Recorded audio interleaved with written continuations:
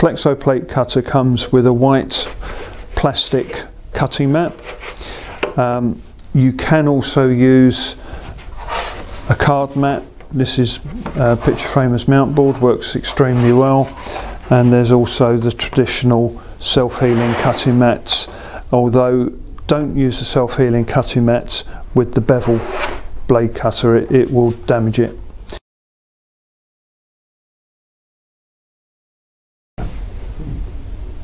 The machine comes with a number of different blades. Uh, for the process I'm going to show you here, I'm using a, a single edge blade. Um, this is the Tech S015.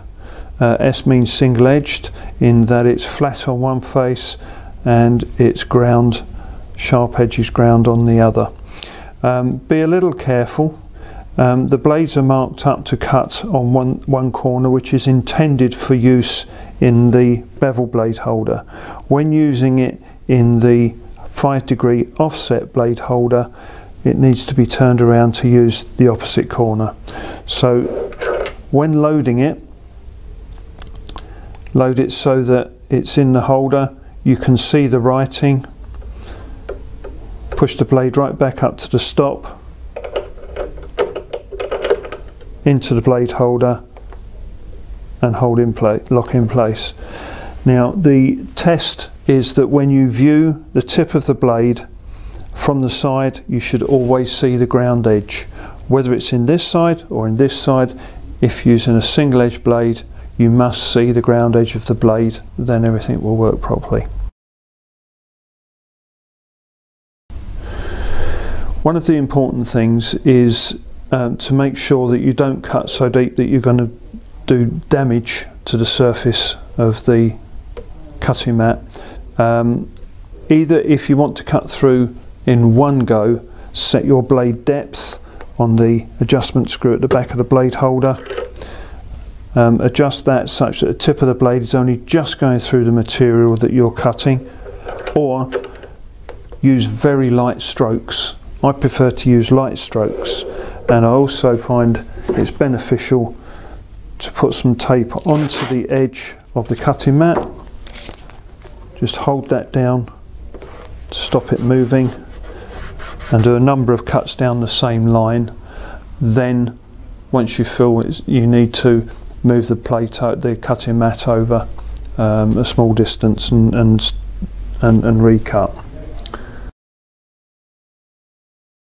When loading the flexo plate, do so with the smooth backing side downwards and the process that works well for most plates is to do it as a, a two-step process. First of all, make sure that you cut most of the waste off first of all.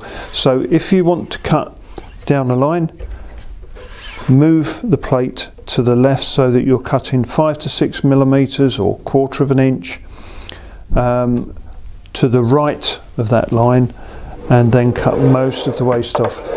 Very light, two or three strokes, continuous cuts until you see it come away. So then move the plate over your five or six millimeters and realign with your targets or whatever marks you have um, in your flexo plate. The sightline strip, which is a clear plastic strip that's fixed to the right hand edge of the cutter bar, gives you an exact location of where the blade is going to cut. Again, light strokes.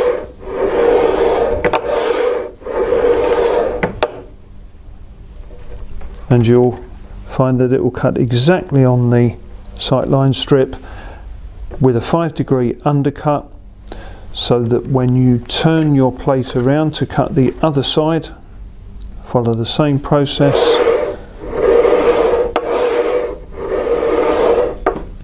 Take most of the waste off move up to your proper position